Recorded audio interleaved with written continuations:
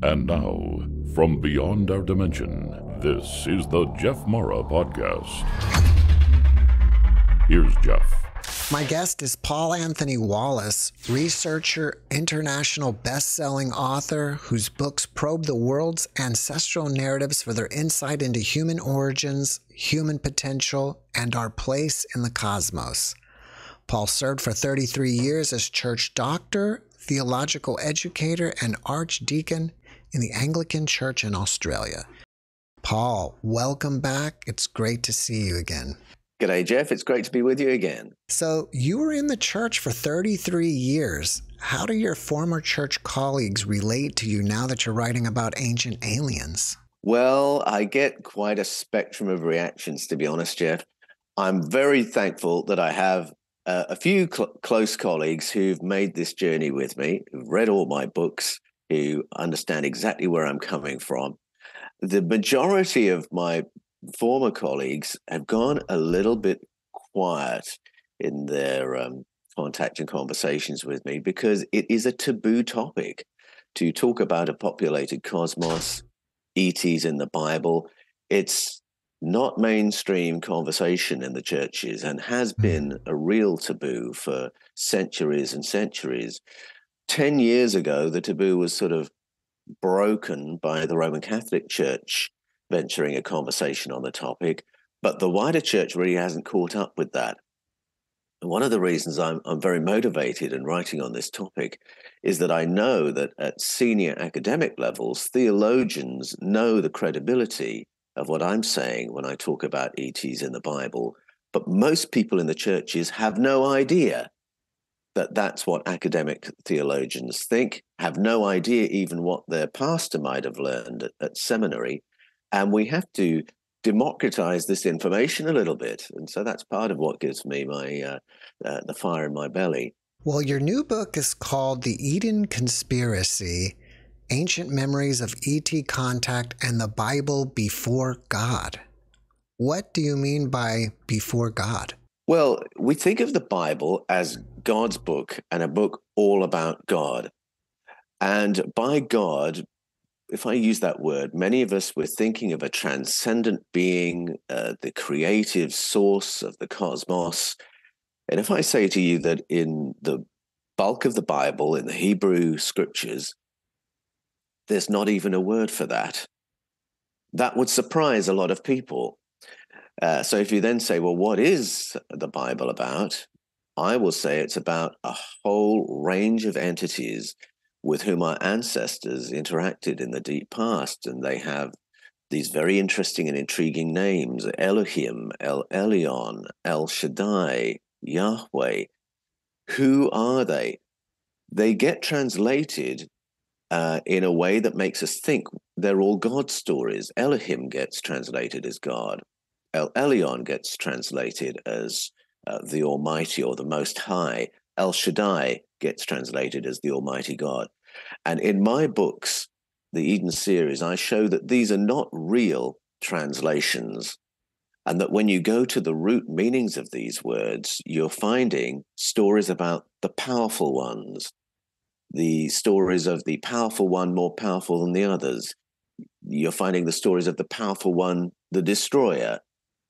And if you put those root meanings back into the texts, you will begin to recognize the shape of the stories. You'll begin to evaluate morally what's going on in them. And you'll quickly, quickly realize that what you're looking at is stories of colonization, exploitation, and governance by non human entities, experiences that were quite traumatic for our ancestors, and then other experiences that were far more positive. Beings who came and nurtured our ancestors in the deep past, enabled us to make the great leap forward into agriculture. But somewhere along the line, all these stories have been translated and redacted to give the impression that they are all stories about God from start to finish, and in my latest book, The Eden Conspiracy, I show how the narrative was changed, how it, how Judaism began as a canon of stories about ancient ET contact, what we call paleo contact, and then how it was changed to become a canon of stories teaching monotheism, worship, and obedience to law. And that shift is traced with incredible openness and honesty in the pages of the Hebrew Scriptures, the Old Testament. Earlier in your career, you must have been dedicated to the Bible, if that's the right way to see it. And, you know, you took the Bible as most people see it.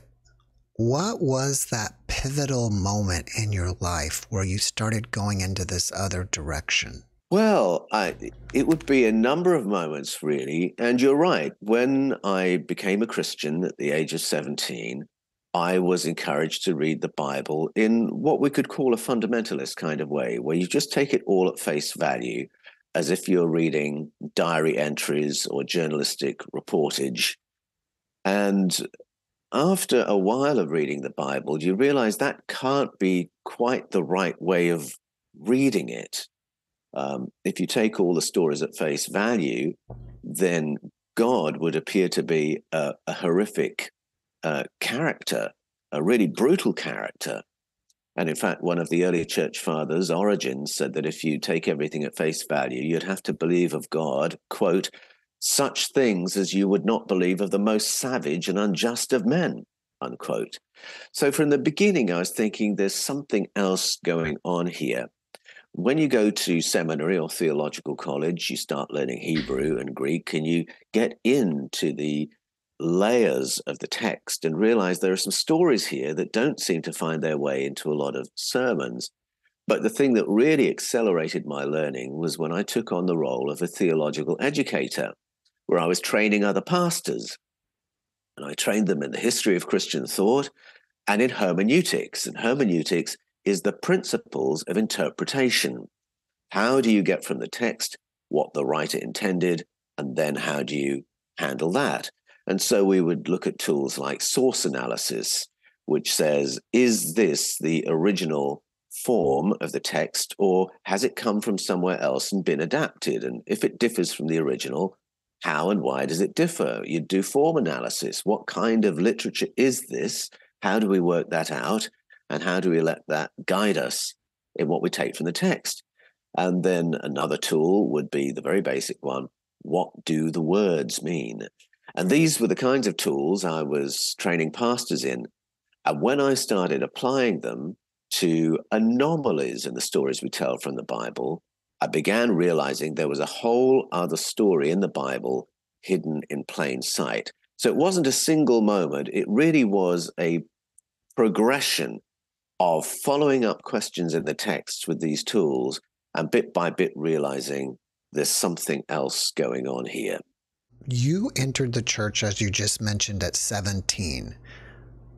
I would think that most people or most pastors have probably been raised with Christianity since birth. And if that's, or close to it, if that's true, do you think that those pastors are not willing or even afraid to go outside of the box like you did because it's kind of like they've been indoctrinated with that their whole life? Oh, you wouldn't believe it, Jeff. Every week I hear from people, they contact me for personal coaching, and a proportion of those people every week are the children of pastors. And they will have grown up being taught Christianity from the very beginning, but they will begin to see um, things that don't make sense in the text themselves and then in perhaps daddy's preaching. And depending on what kind of church it is, they might have no opportunity to really challenge daddy on his thinking. How did you get to that conclusion from that text? Doesn't that text suggest something else?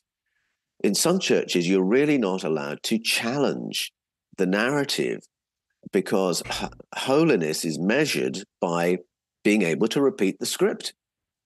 And I hear from pastors' children who are in their 70s and 80s who are finally finding their voice and saying, I always saw this, I've always thought this, I've just read your book and it's affirmed me in the things that I've held personally for decades. But because they grew up with uh, a pastor, a, father who was a pastor, they had never had the liberty to express themselves maybe when they moved away from home. But then there comes a point when uh, mummy and daddy are old and frail and you don't want to upset them. So, you know, the power over people to stick to the script is can be overwhelming. But then there are others whose experience is very different. And I'm delighted to hear from pastors' kids who say, My dad always preached this, but I always had the freedom to ask him and to challenge him. And my dad would always say, Those are excellent questions. You should stick with those questions. And then I hear from others, particularly junior pastors, who tell me, I've seen what you've seen in the text. I know there's other stuff going on there. I know that's not really a God story. But if I say that, I could lose my job.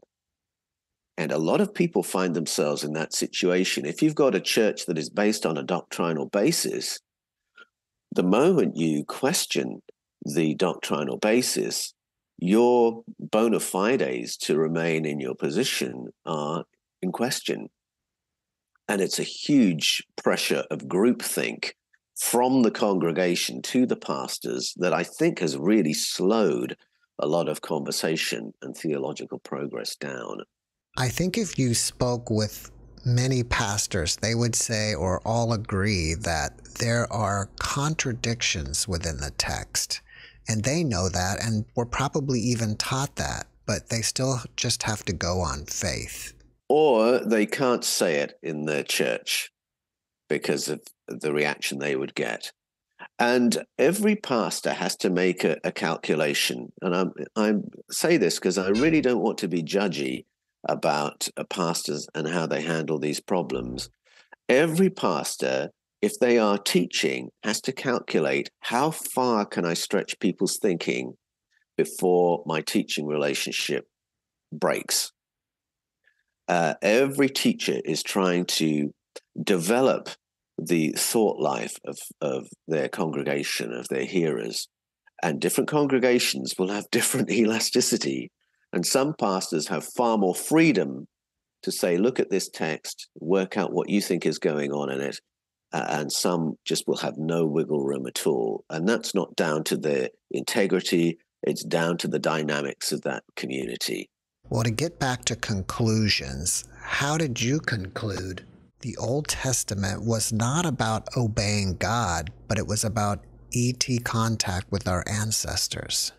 Well, when I started on this journey, when I was on the research path for escaping from Eden, what I thought I was going to find was the familiar Bible, but with some ETs in it, because I'd seen enough to realize that there are entities in the texts that there's the language of the day, and then there's our language today. And our language today would describe them as ETs. I'd picked that up.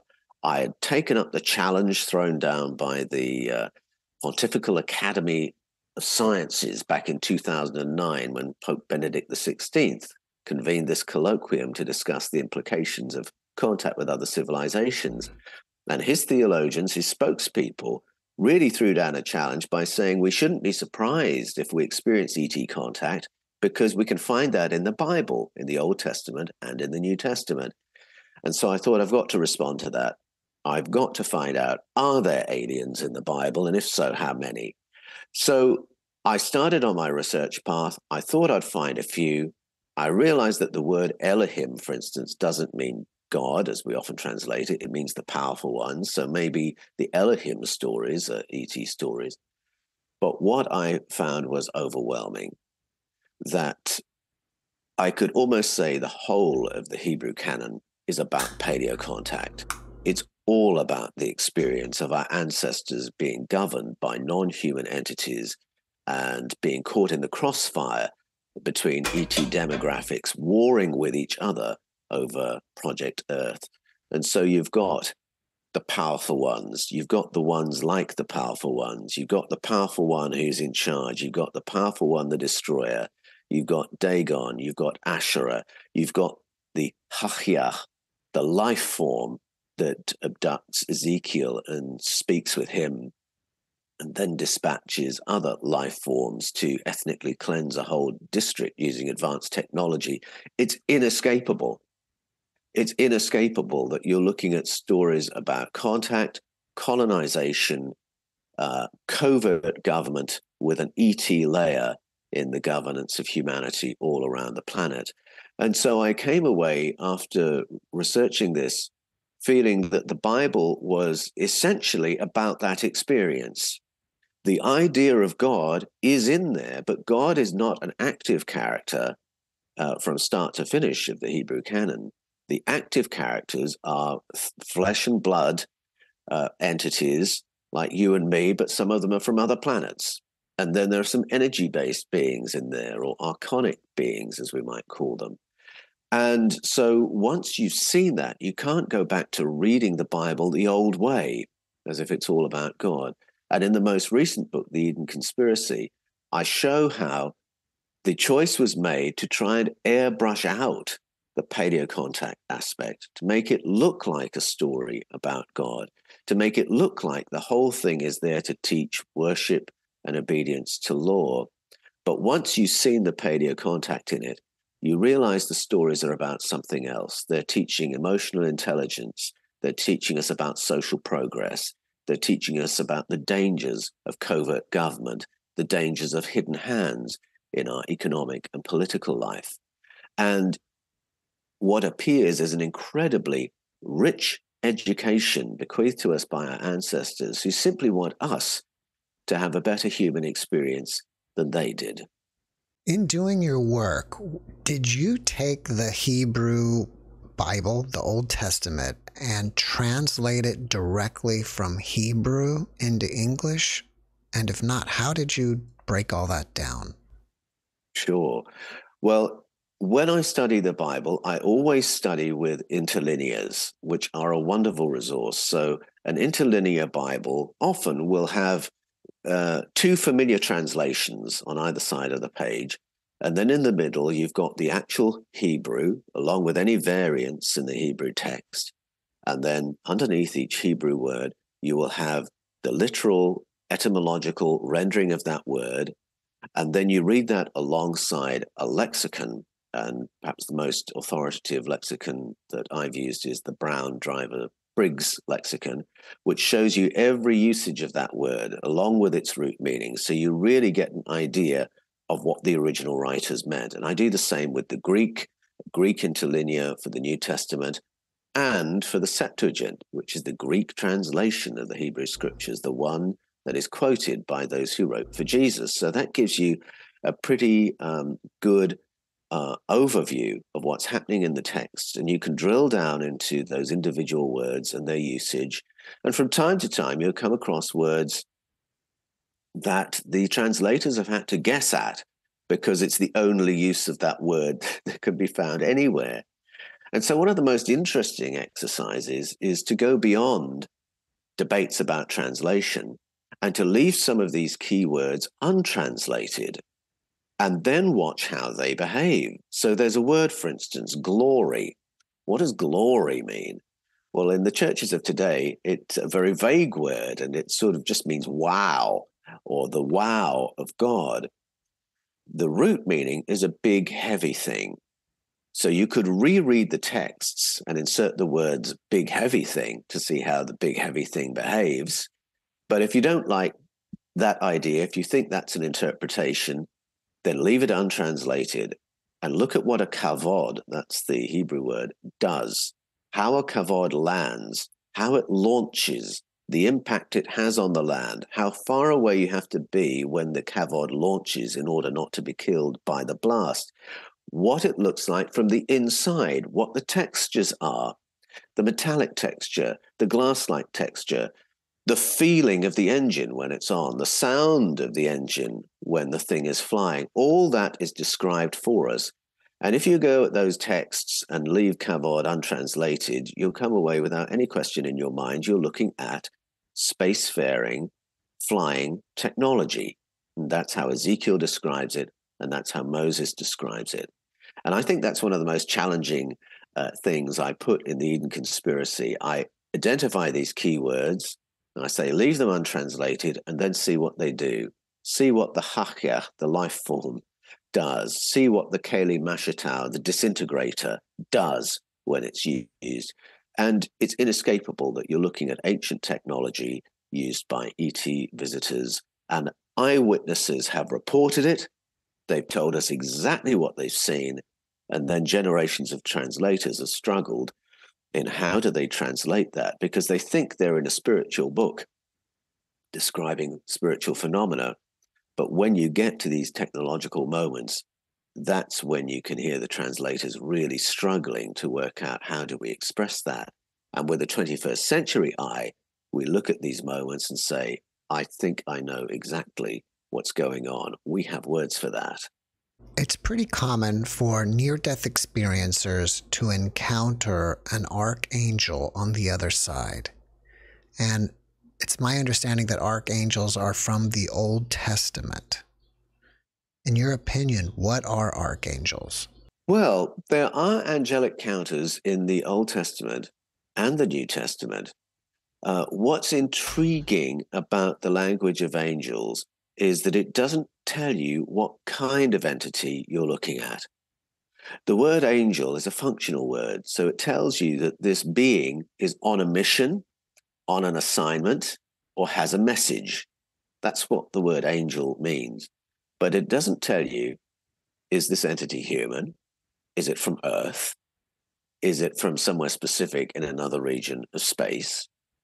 And in the Eden conspiracy, I point to hints that tell us regions of space where these visitors came from. And we find that the Pleiades uh, are named, Sirius is named, Orion is named. And so these beings that we call angels I believe, were advanced visitors. So, advanced species, what we would call ETs. And usually the language of angels is used when they turn up to help. And uh, this is one of the things I love about the Bible and the Bible's report of ET contact. Because today, if I say alien or ET, a lot of our minds will go to Mars attacks, invasion of the body snatchers, Independence Day, but there are tons of encounter experiences in the Bible that are positive. These angels come with messages to help or with physical assistance. And the same is true when we see the visits of entities by the name of Dagon or Asherah.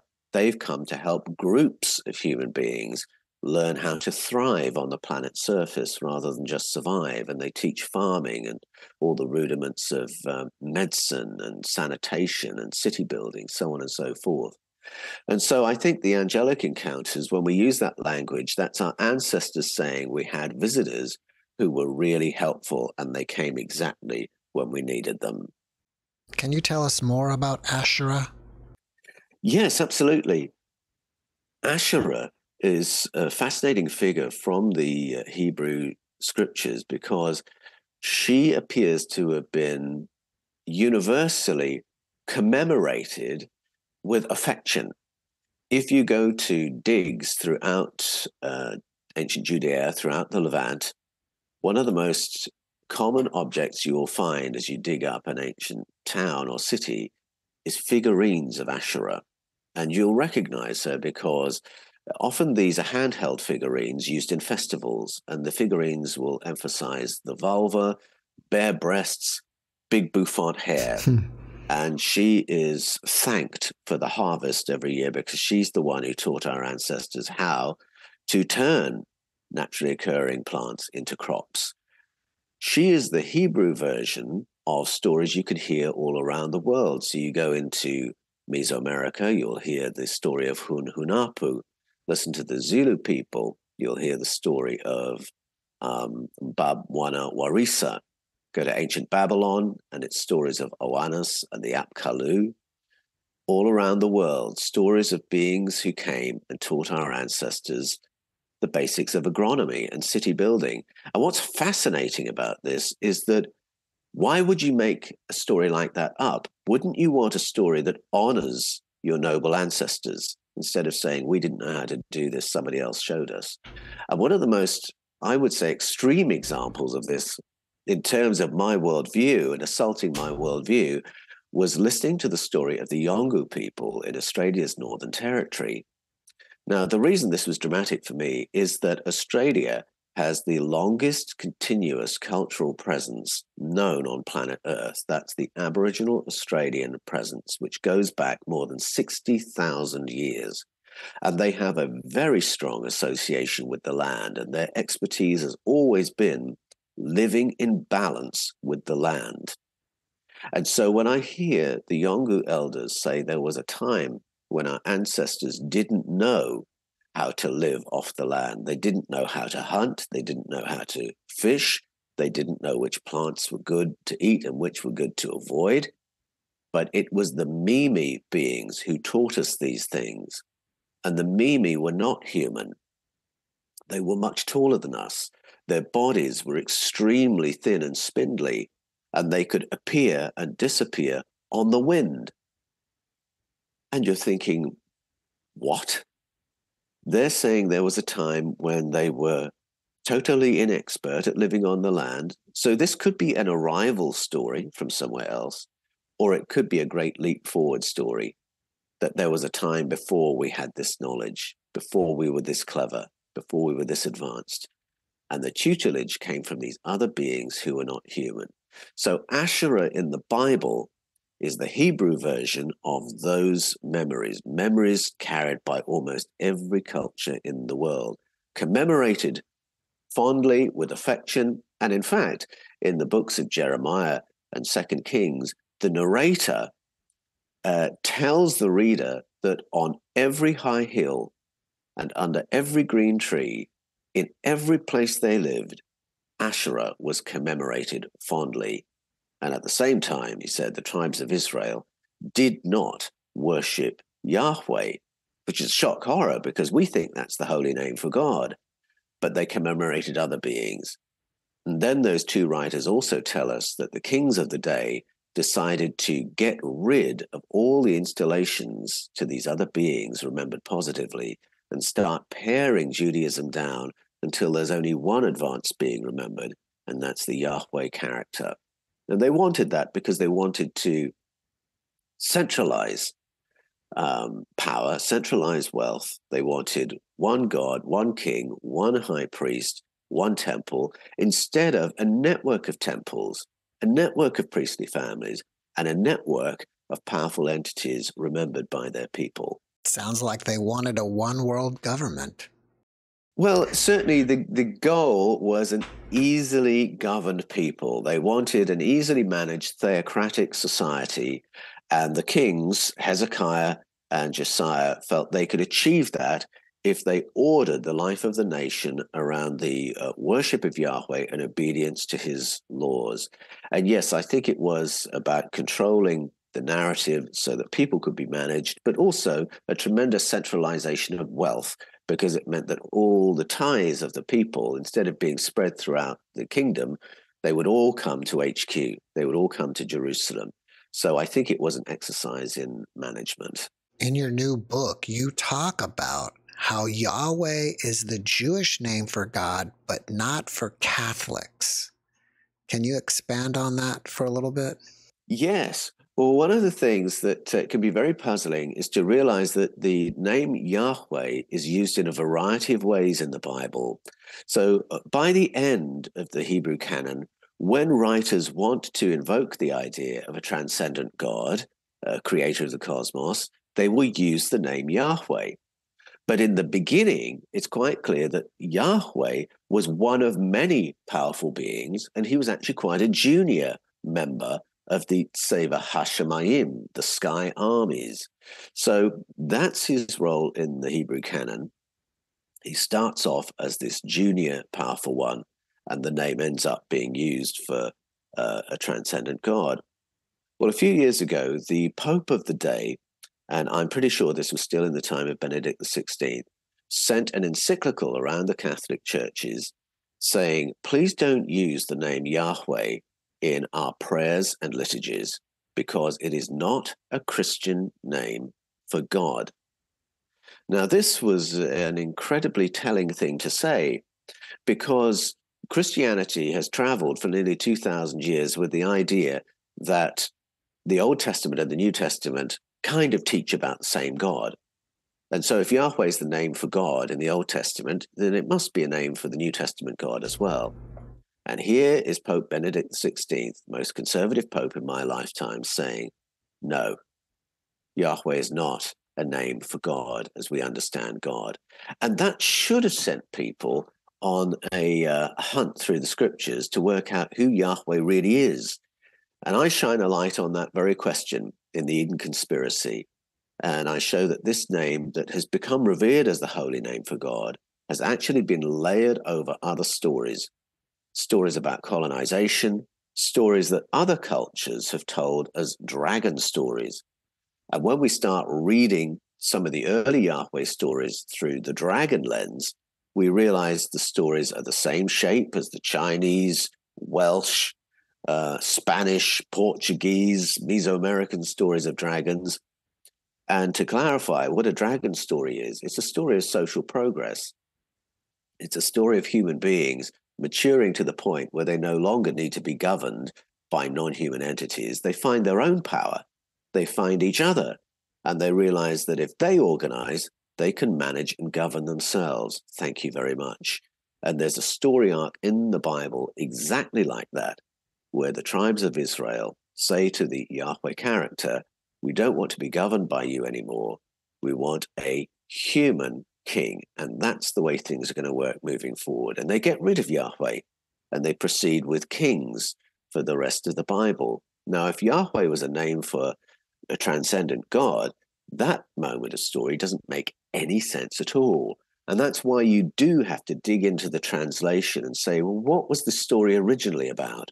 And you realize this is a story about covert government because the Yahweh character disappears but continues to pull strings from behind closed doors, managing uh, the tribes of Israel's uh, foreign policy and making sure that things are still run along the lines that he wants. And in the Eden conspiracy, I show that that's actually what's happened with monarchy in countries in modern times where we think we've gotten rid of monarchy.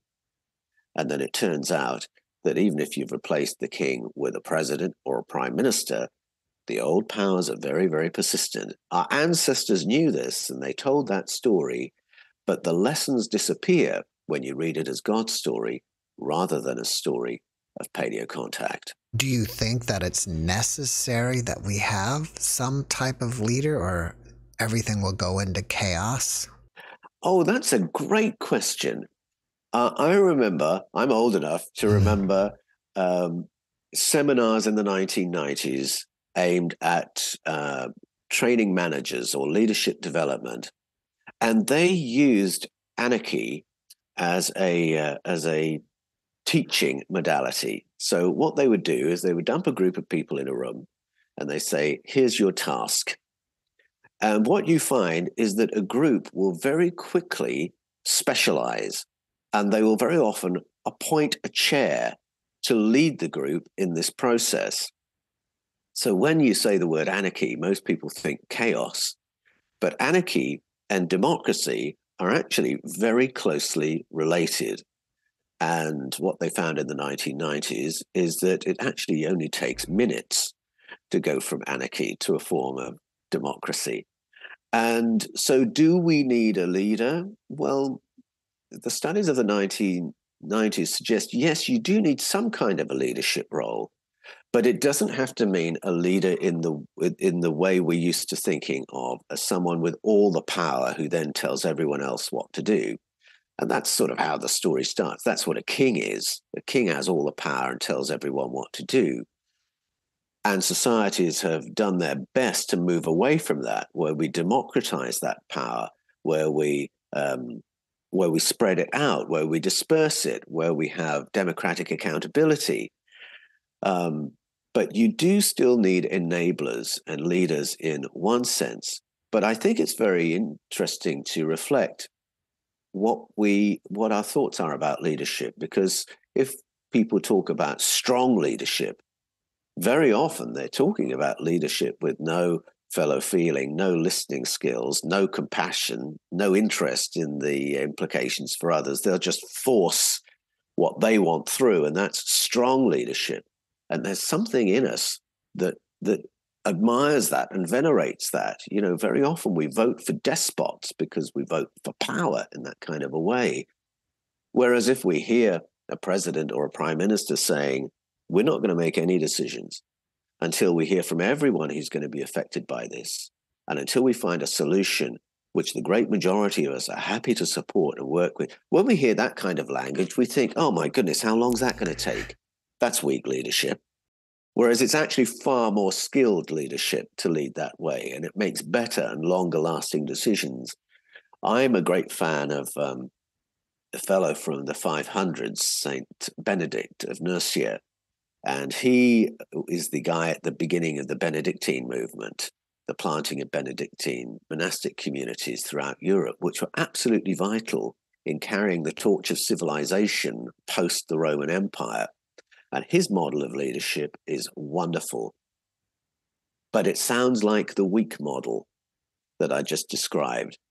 And yet it's a model of leadership that has survived from the 500s to the present day. The Benedictine order is still healthy and flourishing because they unpacked how they wanted leadership to work.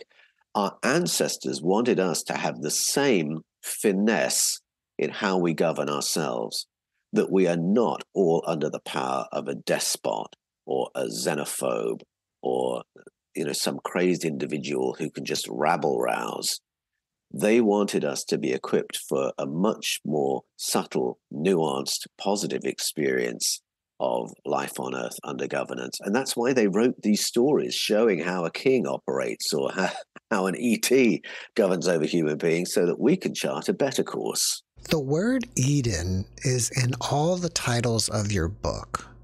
What is it about the story of the Garden of Eden that kind of is a running theme through all your books? Well, there are a couple of reasons that I've used the word Eden. I'm very interested in human origins, where we came from, who we are, and therefore, what are we capable of? And so the word Eden immediately evokes that idea. It's the place of human beginnings. And so I use it for that reason because all my books ultimately are about that. But I also use it because we have certain ideas about Eden. If I say the word Eden, you think about a paradise. You think about human beings living in this perfect garden with a perfect climate, so perfect they don't have to wear clothes, and all the food is just growing on the trees and they can pick their meals whenever they want. It's it's an idyllic environment and none of the animals will eat them. And yet, you go back to the Eden story, just read it as it's translated right now, and you'll realize, oh, it wasn't a paradise.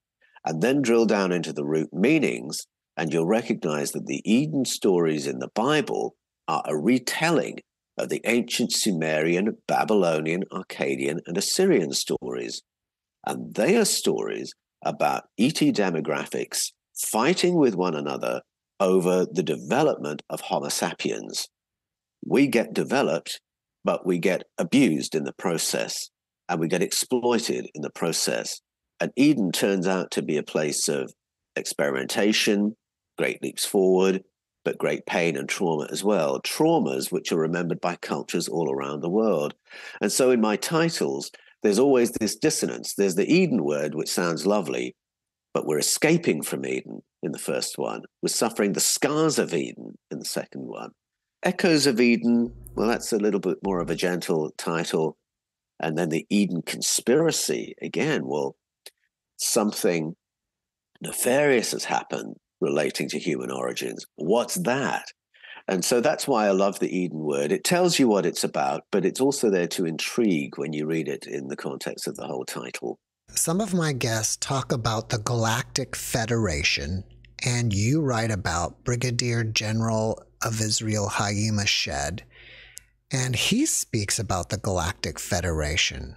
Earlier, you mentioned the Sky Army. Do they talk about it as the Sky Army or the Sky Council in the Bible? Yes. So the Bible has two phrases for what Haim Eshed calls the Galactic Federation. There's the El Ba'adat, which is the Council of Powers. And then there's the, what I call the Sky Council, because that's how it's how it plays out in the drama of the stories. And then there's this other phrase that Seva Hashemayim, the sky armies. Now, in traditional Bibles, it's rendered as the heavenly host. But if I say the heavenly host, most of us will start thinking of Christmas carols, or we'll picture, the, you know, angels singing hymns of praise, or we'll picture the Sistine Chapel ceiling with these beautiful bodies draped in sheets, there adoring the Almighty, heavenly host. The root meaning is sky armies, airborne armies. And if I use those words, well, now you're more likely to picture advanced beings arriving from space with advanced tech and advanced weaponry. Look at the drama of the stories, and that's who showed up. Read Ezekiel, that's who showed up and ethnically cleansed that uh, whole district that he talks about. And so that is the Bible's language for a diversity of visitors. So the Tseva Hashemayim, some are violent, but others, like Asherah and Dagon, are not violent. They are here to help and to assist. And they occupy this committee, the Sky Council, in some kind of an une- uneasy truce, conflicting with one another over how Project Earth should progress, but maintaining some kind of an agreement. And that includes an agreement of non disclosure for most of the time. They are very visible at the beginning of the biblical story. By the end, they're off planet. They're pulling strings from behind closed doors. And this is what Haim Eshed was speaking about uh, in Christmas 2020 when he announced, and I should say who he was, because for 27 years, he was the brigadier general in charge of Israel's space security program. It was his job to know if we are in contact or not. And he said publicly that on the basis of his privileged information, his understanding is we have been in contact for a very long time. And that that contact is with a galactic federation, a great spectrum of non human entities, spacefaring civilizations who occupy this council discussing Project Earth and also involving themselves in research projects, he says. And he doesn't go into detail as to what those are, but obviously the mind boggles when you hear that language. When Haim Eshed said that, it was not surprising to anyone who had read um, world mythology or ancient ancestral narratives. He's just finding new language for what our ancestors have told us about for a long, long time. But what was shocking was the seniority of the person saying these things. That this is a person of phenomenal credibility who has absolutely nothing to gain by making an untrue statement. And yet here he is, fronting the press, saying, This is the world we live in, that the USA is in contact, Israel is in contact, contact, other world powers are in contact, but that it's a stable arrangement and that when you and I, the general public, come to a fuller understanding of what space is, then we might be let in on a secret. But he's just letting us know that this is going on. That's been one of the most intriguing things to me that he said is space is not what you think it is. Yes, that's right. He said until we have a fuller understanding of what space is and what spaceships are, because space is not what we think it is. Do you have any idea of what it is? I'm guessing, but uh, and it crosses over with with the topic of NDEs because a lot of people when they experience NDEs they have this experience in which time doesn't mean anything.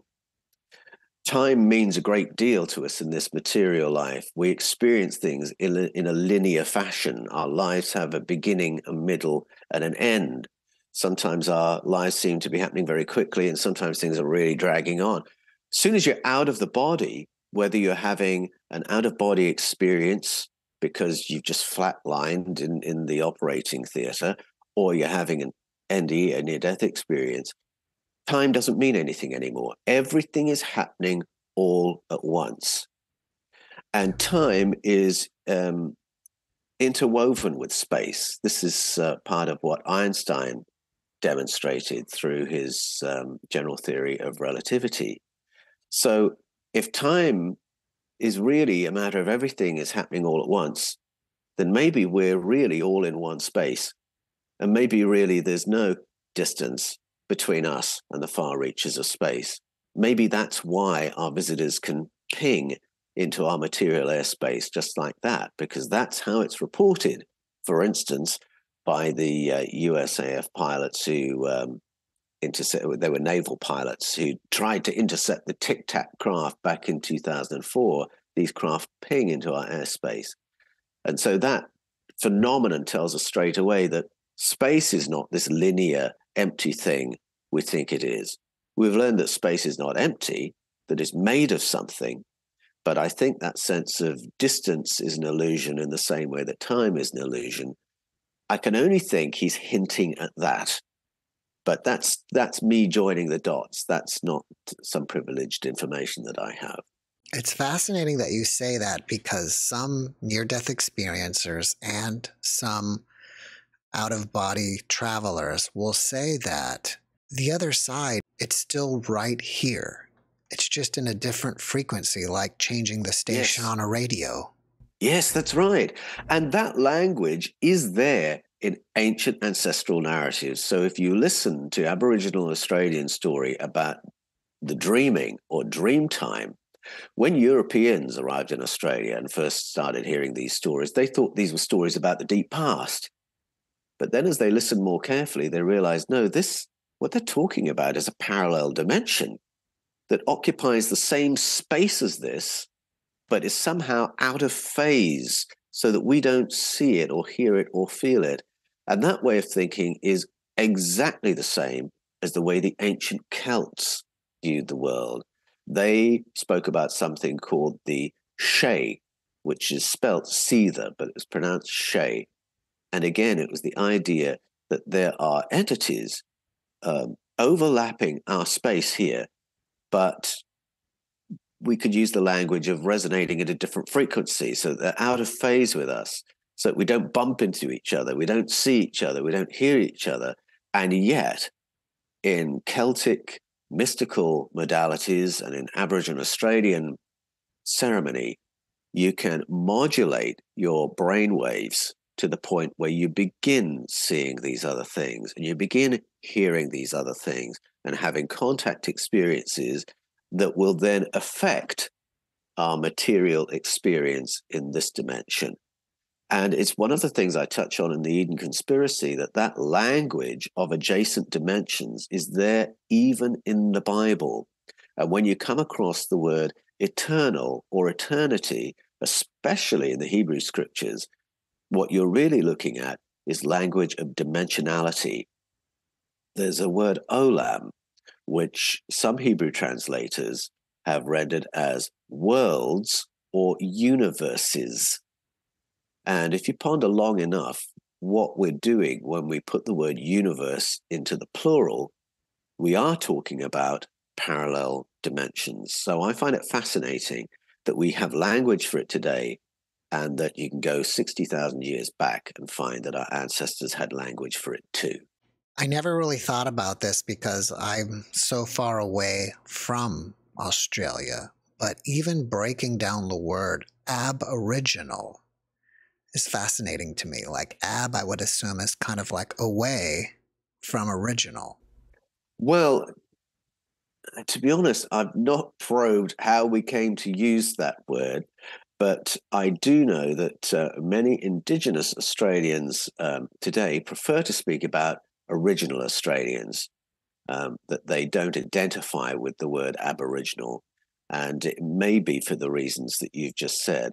And so um, I, it, it depends who I'm speaking with, but you, I want to be respectful to the people who were here 60,000 years ahead of me. If they prefer to be called original Australians, that's the language I'll use. But many do accept that word, Aboriginal Australians, as an assertion that they were here first and they were here for a very, very long time and with a wisdom tradition that is one of the oldest continuous traditions in the world, the oldest by current archaeological uh, information. Can you share with us some of the examples of ancient technology within the Bible? Yes, I think probably one of the most famous and fun examples is Ezekiel's experience of the kavod, uh, which he um, also calls the ruach.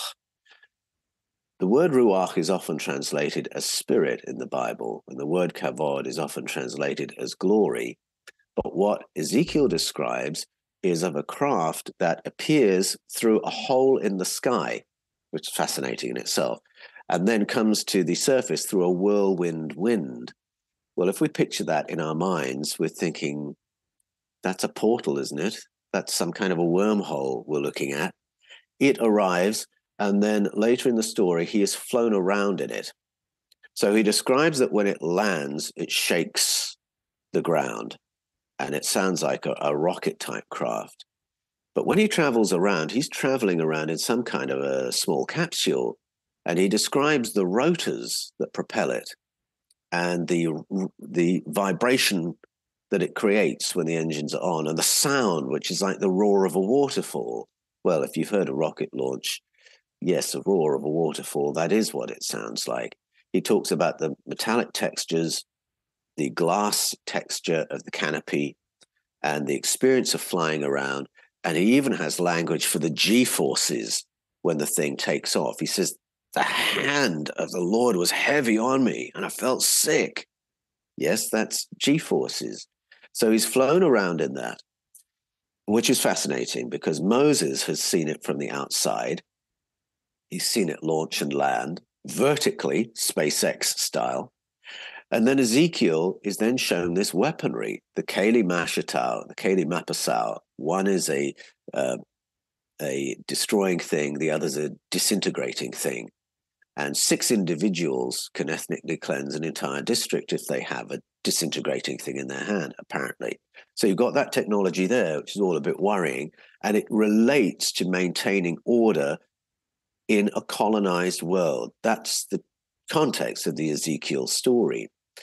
And then you go uh, elsewhere in the Hebrew scriptures, you'll come across these devices, the Urim and Thummim, which are communications devices. They're trying to get communication with powerful ones who are no longer accessible on the planet's surface. So they're using these devices, except it becomes clear that nobody knows how to work them. The priests don't really know how to work them, and the narrators don't know. So it's all very, very vague as to how they work and what they are. And the more you look at the description of them, the more you will think the Urim and Thummim are actually copies of something that they have seen used by other people. They've seen advanced technology and they're trying to replicate it.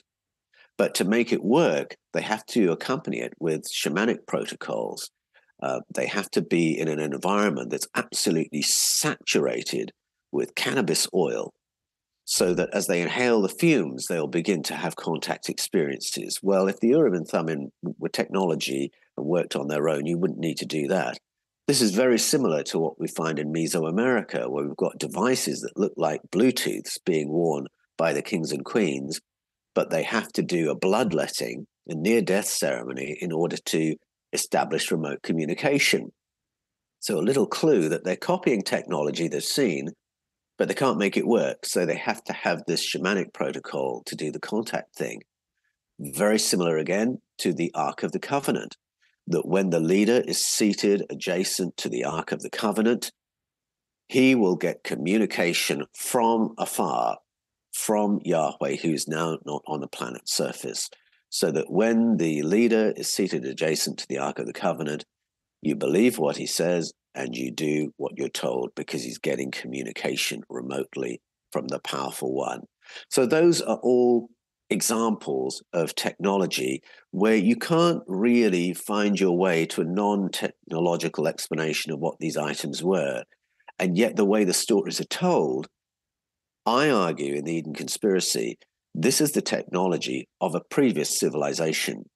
These are actually facsimiles of pieces of technology that they had seen in operation and were trying to replicate, but they could only make them work through altered states of consciousness. It's the same in the Hebrew story, and it's the same in the Mayan story. And I would suggest it occurs in other cultures around the world. Do you think it's possible that ETs were involved in the writing of the scriptures, both the Hebrew Old Testament and the New Testament, and possibly manipulated it or changed it in some way to confuse us? Well, I haven't found that to be honest. I think the the changes uh, that I trace in the Eden conspiracy are all human driven. I think that there came a time when the uh, kings wanted to centralize power. Uh, and this is not an unusual thing. You can see governments all around the world doing this. They will find a moment of opportunity and they'll say, let's bring in some legislation that gives us a little bit more clout than we had before. This has happened in recent years in the USA and it's happened in recent years in Australia uh, King Hezekiah came along, and that's exactly what he wanted. He was a Yahwist. He worshipped Yahweh. Yahweh wasn't around, he wasn't on the planet's surface, but we had someone who wanted his religion to be the religion of his entire kingdom. He didn't want to be a Yahwist and then have citizens who followed Baal or Dagon or Asherah. He wanted his religion to apply to the whole nation. And the laws of Yahweh would explain why he had the divine right to rule. And so he was very interested in getting rid of the other priesthoods, the other temples, the standing stones that commemorated the place of contact uh, with um, advanced beings in the deep past. He was very happy to dismantle other priesthoods so that the tithes would all come centrally. He's got a theocratic society now where he's controlling what people believe He's controlling their devotional practice. He is the mouthpiece for the one and only advanced being, Yahweh. His priesthood running the Jerusalem temple, they are the ones who tell you what's true, what's false, what's news, what's fake news. And so you can see why, from a kingly perspective, he would want to do that.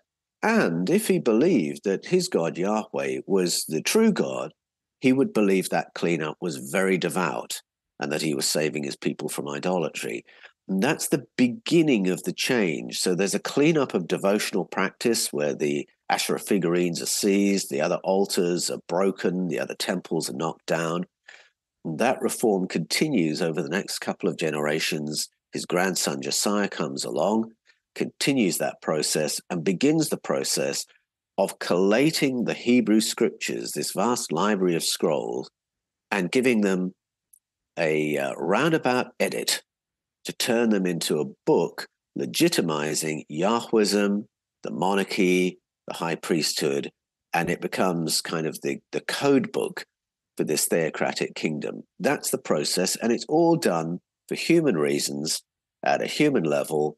They were worshippers of this other entity, but I don't think the other entity was hands on in making these editorial changes. As far as my studies go, the putting together of the scriptures was by human writers and was a human exercise, albeit in the name of God. I was just thinking, is it possible that an ET could appear as a human and then, you know, have some kind of misinput or put in some things that, you know, would steer us in the wrong direction? Well, funnily enough, there are a number of occasions when visitors appear in the Bible and the experiencers think it's a person. And it's only after the encounter that they think, hold on, that wasn't a human being. But almost all those stories are positive. Uh, they're not stories of somebody turning up and tricking them, pretending to be a human being and deceiving them. They're stories of help. They're stories of people who can't have a baby, suddenly they're pregnant. They're stories of people in a desperate military situation and suddenly they have been given rescue. Uh, and in those cases, at the beginning of the encounter, they're thinking this is just another person. Who are you? But then, bit by bit, as the encounter goes on, the being will identify himself. Or sometimes it's literally after they've left that they're thinking, wait a minute. Or it's or it's months later when they realize the wife is pregnant that they think, wait a minute. But they generally that kind of story is generally a positive story in, in the biblical canon.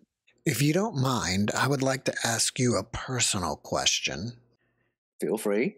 do you believe that God is a being separate from all of us and ETs that created everything? Or do you believe that all of us, including the ETs collectively, are God? Oh, that's a really good question. Um, let me answer it this way that when I use the word God, uh, I only use it with reference to the source of the cosmos.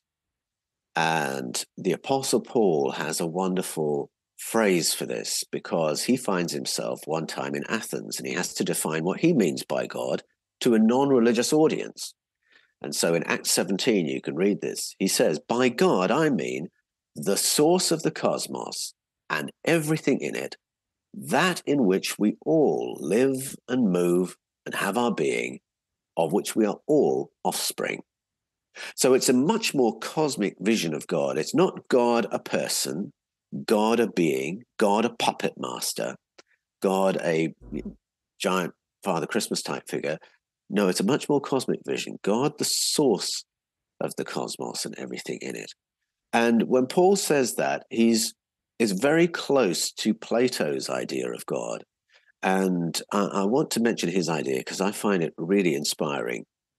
If we put Plato and Einstein together, it's interesting. Einstein proved, I believe, with his general theory of relativity, that space, energy, matter, and time all had a beginning, and it was the same beginning. And what that means is that if you keep asking the question, what went before, what was the Earth like before it was like this? What was our solar system like before it was like this? What was the cosmos like before it was like this? You go far enough back in time, you'll reach a point where before doesn't mean before anymore because time has a beginning. And Plato said, when you get to that point where before no longer means before, if you look around, you'll see a unified field of consciousness.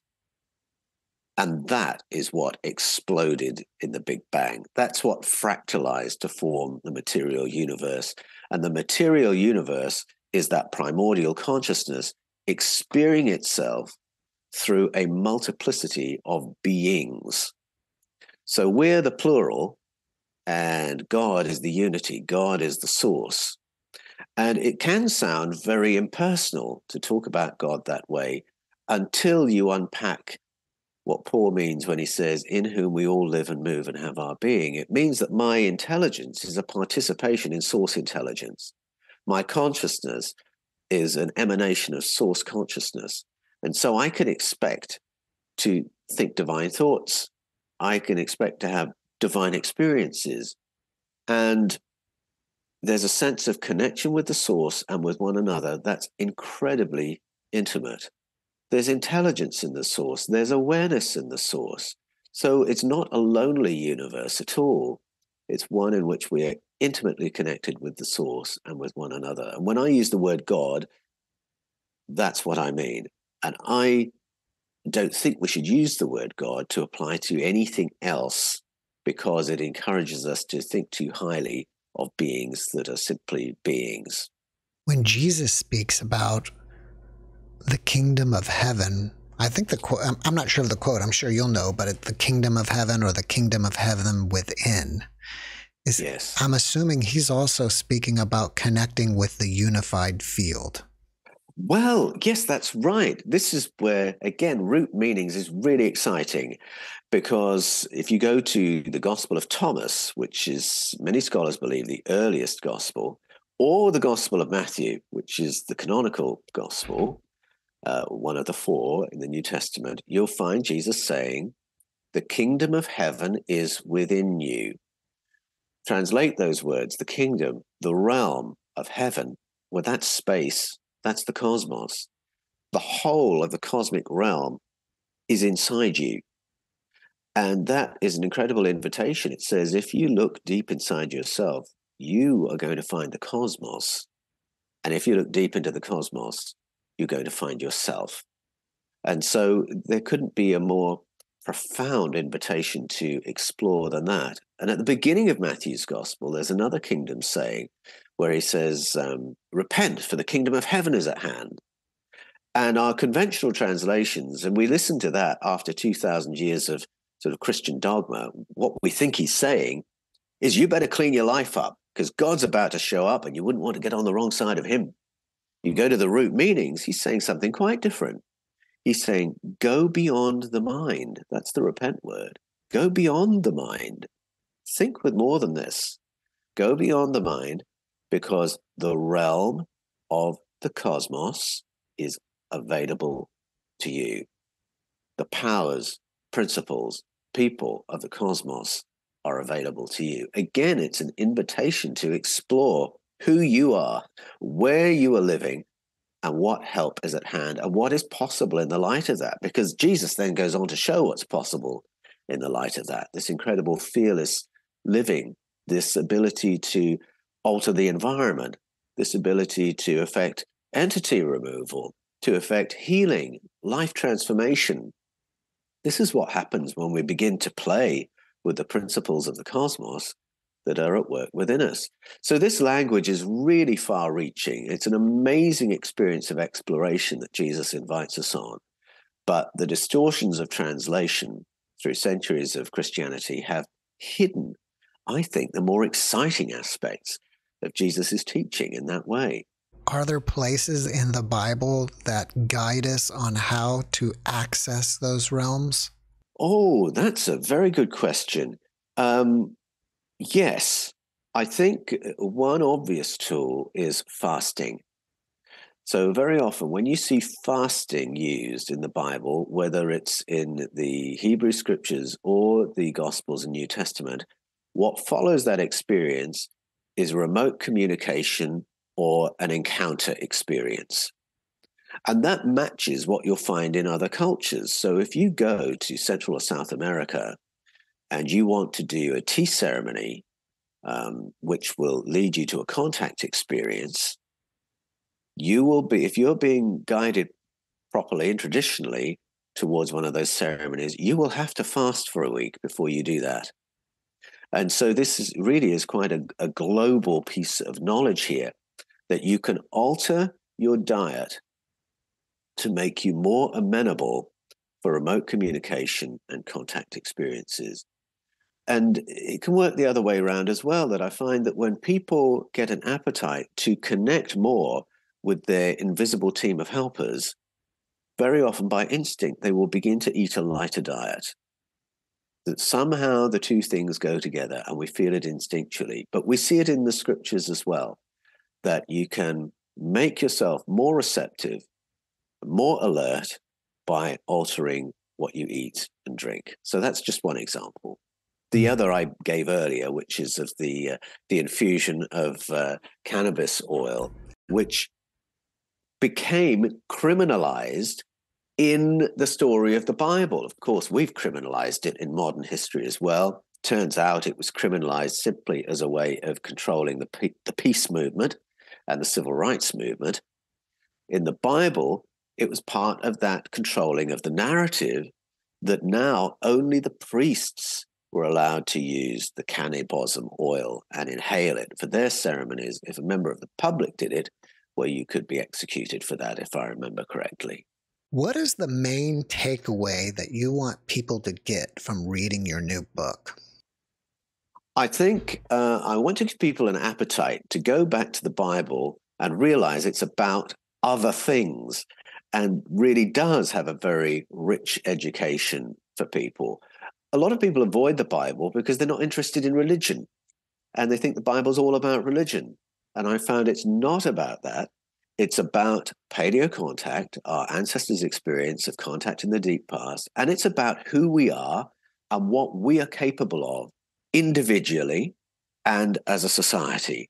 And I hope that people will come away from the Eden conspiracy with a real appetite to discover what's possible for themselves and for their family, their community, their town, their city, their country, because our ancestors believe we can have a far better and more empowered experience than the one we've been having to date.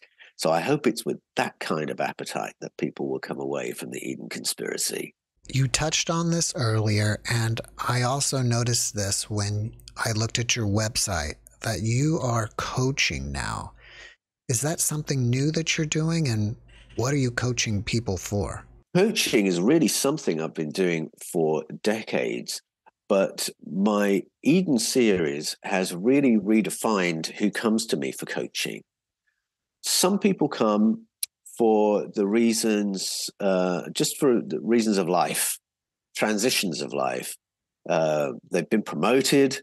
Um, there's a change in their living arrangement. They've got married. They've got divorced. Somebody's died. They've got ill.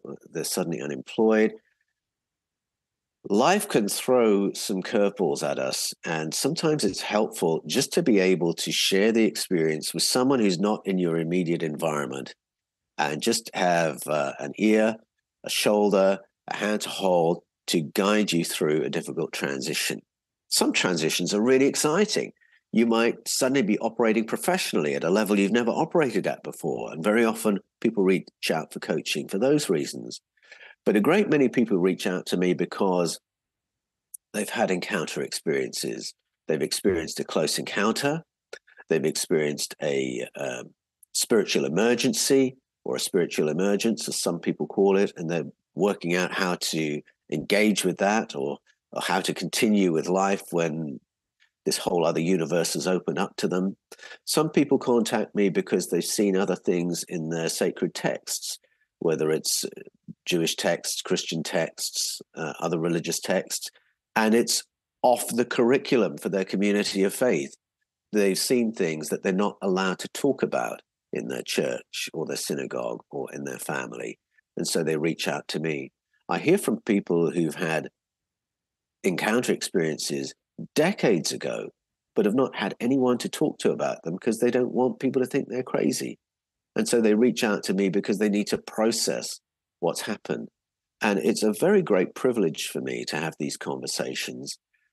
Many of my clients are also veterans of war because that can be an incredibly dislocating experience. You come back to a world that you understand completely differently because of your experience in the theater of war, or you may have seen things that have blown apart your worldview and it can be incredibly isolating. And it's my great privilege to talk with people who are processing that kind of life experience as well. But I coach people every week. It's my absolute pleasure and privilege. If people want to do coaching with me, they can find me through my website, which is paulanthonywallis.com. Anthony with an H, Wallis, W A L L I S.com, paulanthonywallis.com. You can find the coaching page and reach out to me through that. Paul, before we finish up, can you leave us with one last positive message? Well, today is a significant day for me because I am mourning the passing of a great, and that's Tina Turner. Uh, Tina Turner has been an amazing inspiration to me uh, since I was very young. And uh, not just because I loved her performance style and her musical canon, but because her solo career began when she was about 43 years old. And so, for many of us, she's a great symbol of hope that we can all be late bloomers and that life is a long game and it's good to play the long game. And I applaud Tina Turner for having done that and been an inspiration for so many. And I think for me, she also shows the power of intention that um, morning by morning, you can choose what kind of energy you're going to put out into the world, what energy you will give others when you interact with them, uh, and to be very deliberate about your mood and the energy you project is a great gift not only to others, but to yourself. Because without that kind of intentionality, you're just pushed and pulled by the circumstances of life or what you just heard on the radio, on the news. And that's no way to live. You'll go into a funk if you live passive like that. It's very good to be intentional about your um, energy, your emotionality, the mood you carry, and how you affect those among whom you move. And you'll find all that reflects back to you. That if you give in that way to others, there's a wonderful feedback loop that means that you are uplifted in the experience. And so that's the message that I'd conclude with. Paul, thank you for that message and thank you for being my guest again. Thanks, Jeff. It's been a pleasure. Likewise.